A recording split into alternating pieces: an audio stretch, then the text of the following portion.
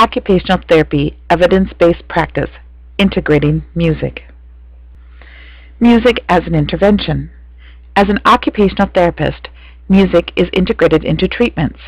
The tempo of an exercise appears to change with the rhythm of the music. Music appears to have an energizing or even a calming effect. So, can music be used to calm a patient who has increased behaviors? So what does the evidence say? The questions to be answered are, is music a valid therapeutic intervention for occupational therapy?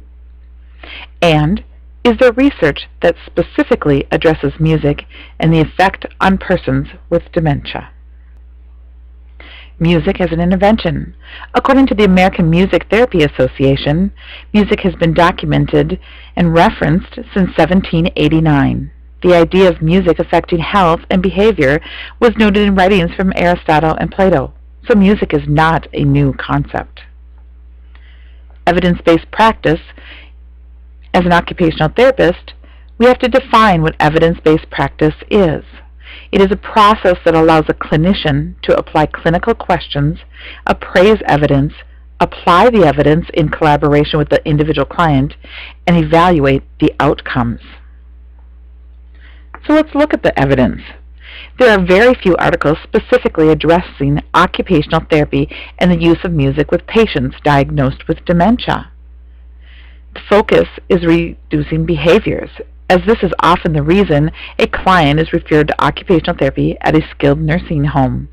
Often we will have that referral of, can you please come see this patient? He won't stop pacing. Can you please see this lady? She won't stop screaming. So the question is, does music decrease disruptive vocalizations of persons with dementia? I looked at one article and did an appraisal of the evidence. I reviewed the article, The Effect of Music on Repetitive, Disruptive Vocalizations of Persons with Dementia. It was completed in 1994.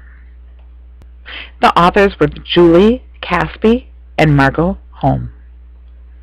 Here's the reference. As you can see, it was published in the American Journal of Occupational Therapy in 1994. So what level of evidence is this article, this research study? The level of evidence, according to the hierarchy of levels of evidence, the research study is a level 3. I took this from the hierarchy levels of Kielhofner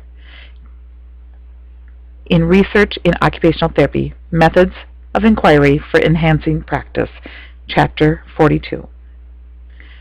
It is a level 3 evidence because this research has a mixed design in where pre and post study of a single group of subjects assessed at baseline and then during the intervention. The research also attempted to use randomization of the intervention using three single subject withdrawal designs. The study design was such. There were three single subject withdrawal designs. The intervention was music. There was a pattern of A, B, A. The second pattern was A, C, A. And the third pattern was A, B, C. A is no intervention. B was relaxing classical music. C was the patient's favorite music. The study subjects were identified at a long-term care facility. These patients, or residents, had disruptive vocalizations and were diagnosed with dementia, the Alzheimer's type. Inclusion and exclusion criteria was defined in the research study. The study was completed at a single site facility. The subjects included, or were identified, five residents met the criteria. Only three residents were identified for the study, and they were chosen by nursing staff. The nursing staff identified these residents as the most disruptive. Occupational therapists are often asked to interview with the most disruptive residents.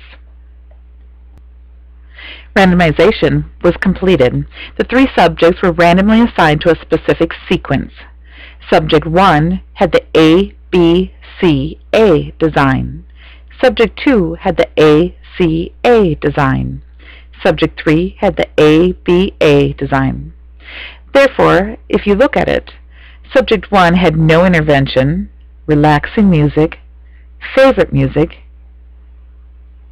and then no intervention again. Subject 2 had no intervention, favorite music, and then no intervention. And Subject 3 had no intervention, relaxing classical music, and no intervention. The procedures, there were specific procedures for the intervention of the music was outlined in the research study. The use of headphones or the use of non-headphones was noted.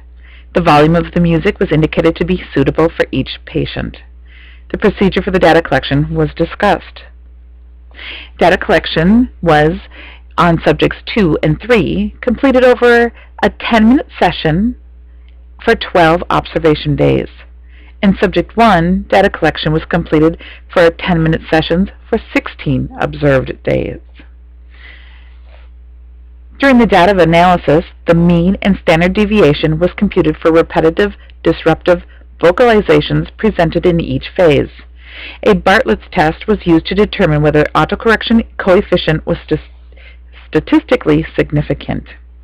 The results showed that there was a change in the mean level of repetitive disruptive vocalizations for all subjects while listening to music.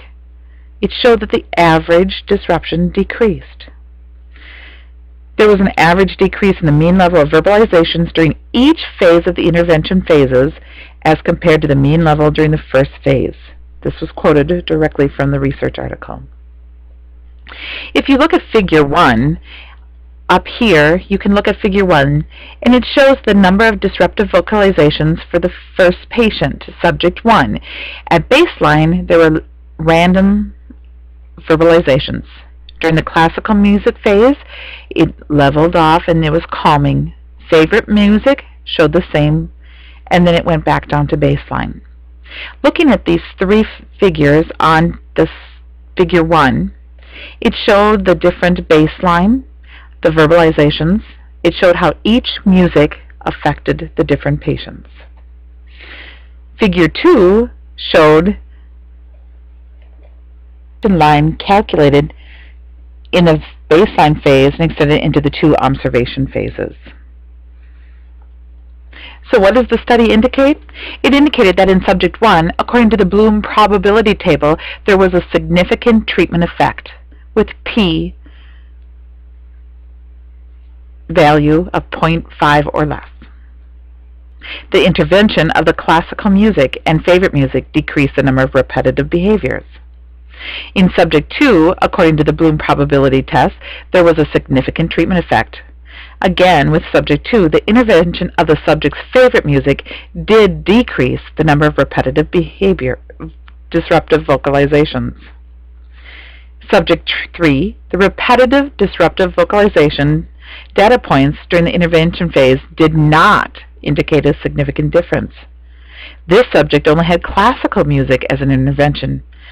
Perhaps that was not the type of music he would have chose to relax. So can music really be an intervention? The study results did indicate that music significantly decreased repetitive behaviors that were being studied in two of the three subjects. Evidence-based practitioner would reflect on the fact that it is important to select music of the patient's preference.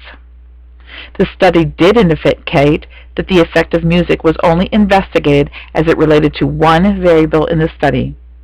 Future research should investigate not only the effect on behavior, but physiological responses to increase a patient's ability function. Music has an effect on blood pressure, breathing, and all sorts of emotions. Thoughts. Here are my thoughts. Observations in a skilled nursing facility would present with an assumption that music does have an effect and an impact on behavior. Individuals with dementia will often sing songs from the past without an issue. However, they cannot communicate their needs. Individuals with dementia will often wander aimlessly. However, when music is played, they will sway to the rhythm or dance a waltz if given the opportunity. Occupational therapists use music as, as an adjunct already. This, this study demonstrated the value for further research. The study did show a significant statistical decrease with disruptive vocalizations for two out of three individuals in their studies. Clinicians should consider music as an intervention to decrease disruptive vocalization. As an evidence-based practice clinician, we need to think about our awareness, creativity, judgment, and consultation for our individual patient.